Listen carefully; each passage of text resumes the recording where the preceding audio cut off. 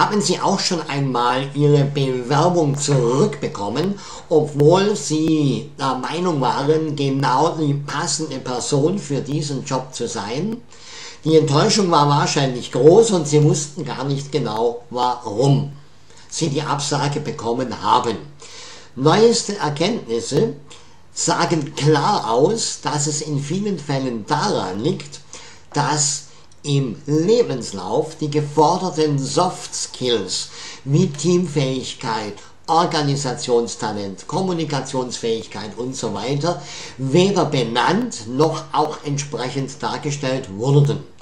Um Ihnen in Zukunft dabei zu helfen, diese Antworten auf die Fragen des Unternehmens zu geben, bekommen Sie von mir gratis und kostenlos eine Liste der sogenannten sozialen Kompetenzen oder Soft Skills aus dem Buch Zeitgemäß bewerben.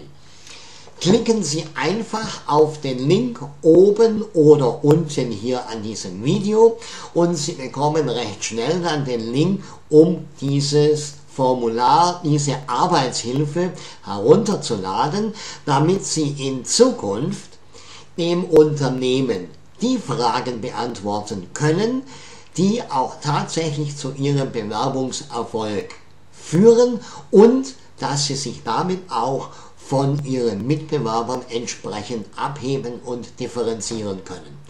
Klicken Sie einfach auf den Link und Sie werden in Zukunft sich mit Sicherheit zu dem Thema viel, viel leichter tun. Bis zum nächsten Mal, Ihr Heinz Pater.